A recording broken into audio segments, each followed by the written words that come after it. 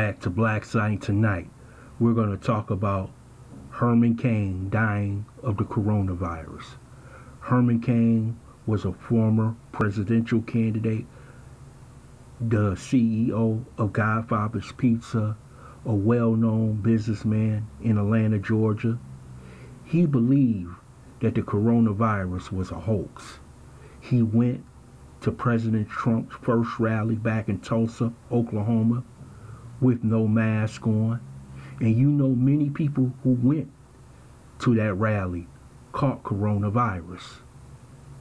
There are many on the left attacking President Trump because of Herman Cain's death, and they're also blaming Herman Cain for his own death. You have people like Mika Brzezinski on MSNBC, you have Ana Navarro on CNN, and many others taking shots at President Trump and Herman Cain, blaming President Trump for saying it was a hoax, blaming President Trump for not wearing a mask, and blaming Herman Cain for not wearing a mask. We don't know how Herman Cain caught COVID-19, but he did. And you know when you older, Herman Cain was 74 years old, you are within that range of catching coronavirus. This is a sad day but it's not the day to try to take political advantage of a man dying who had a great career. You can disagree with his political points of view. You could say he was a coon, a sellout. But he served himself well and his family well. And we should not use a man's death to make sure our party wins an election. We saw that today with President Obama using John Lewis' death to make political points. These people in Washington, D.C. have no shame. Can't a man just die, have his day of celebration that he's going on to the ancestors, and not use it as a political wedge issue so you can get more votes in November.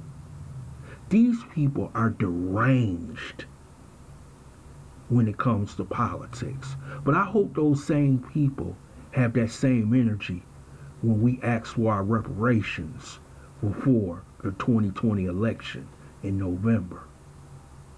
But to do this on a man's death, to try and get more votes for your political party, it's disgusting. And it should not happen in this country.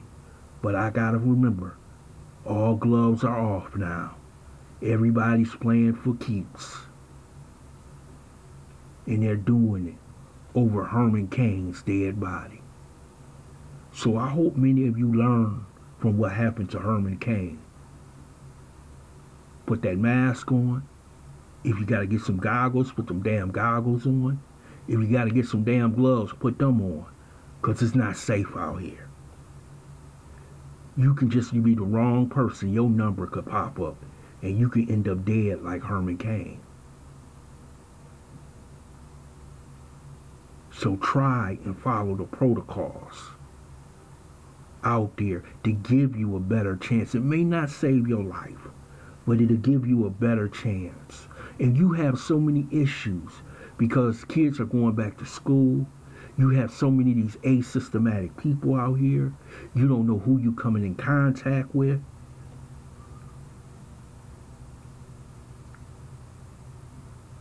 And that is the way you can end up gone from this earth.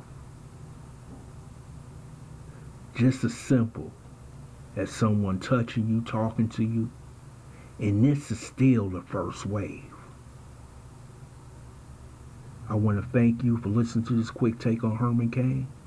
Hope you subscribe to this channel, smash that like button, and share this video.